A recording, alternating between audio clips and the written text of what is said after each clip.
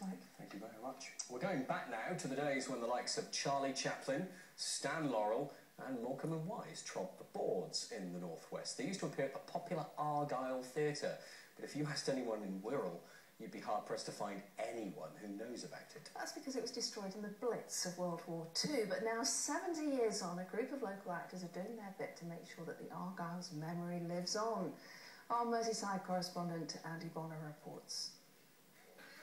It may not look like much, but one-time greats like George Formby and Charlie Chaplin all appeared in this car park.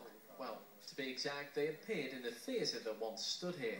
I look up there and think, gosh, sat up there with mum and dad and my brother, sitting in the, um, not the circle, higher above than that. It was lovely.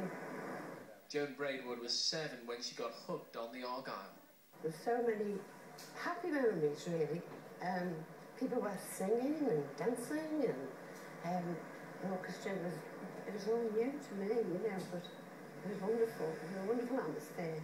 No wonder the big names appeared at the Argyle. In its day, it was one of the most important music halls in the land.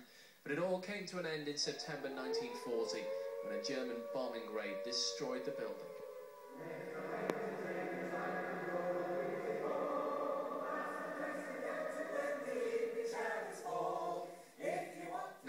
Exactly 70 years on, enthusiasts are reviving memories of the Argyle at Port Sunlight's Gladstone Theatre. Let's all go to the music hall. With the orchestrations that I've done, I've tried to be as truthful and as original to the well to the to the manuscript as possible. So I think um, when they hear you know the overture and the saxes start playing up, they, they, it'll just take them right back to, to how, how they remember the musical. In midsummer, we welcomed eight Lancashire lads of clog dancers. One name jumps out of the programme. It was Charles Chaplin. Chaplin wasn't the only name to appear at the Argyle. Stan Laurel and a whole host of others had starring roles.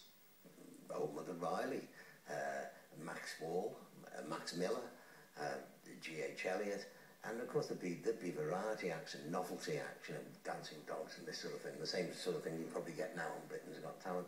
That that was the birth of modern entertainment, modern mass entertainment, and modern popular music, if you like.